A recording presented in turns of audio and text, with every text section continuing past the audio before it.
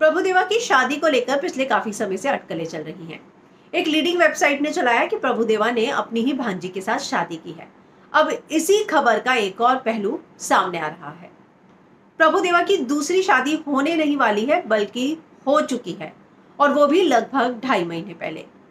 उनके भाई, उन्होंने इस बात का खुलासा किया है राजू सुंदरम ने कि ये जो शादी की अभी खबरें आ रही हैं, पता नहीं कहाँ से आई हैं क्योंकि प्रभुदेवा की शादी जो है वो मई में हो चुकी है और वो शादी उन्होंने अपनी किसी भांजी से नहीं की है, बल्कि हिमानी नाम की मुंबई की एक फिजियोथेरेपिस्ट से की है, जिनसे जो है प्रभुदेवा अपना इलाज करा रहे थे। वही हिमानी जो है प्रभुदेवा के साथ मार्च में ही चेन्नई में शिफ्ट हो गई थी लॉकडाउन के समय।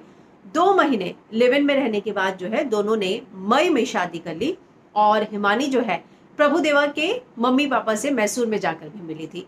तो ये जो खबरें आई कि उनकी भांजी के साथ शादी है, तैयारियाँ हो रही हैं तो अब उनके भाई ने कहा कि पता नहीं ये खबरें कैसे लीडिंग वेबसाइट ने छापी। हालाँकि प्रभु की शादी जो है, दो महीने पहले हो चुकी है। ये प्रभु देवा की दूसरी शादी होगी। पहली शादी जो है, रामलता के साथ हुई थी, जिससे उन्हें तीन बच्चे हैं, जिसमें से एक का कैंसर की वजह से निधन हो गया था। वहीं साउथ स्टार नयन तारा के साथ जो है, जब प्रभु देवा का अफेयर था तब उनकी अपनी पत्नी के साथ जो है दूरियाँ बढ़ गई थी।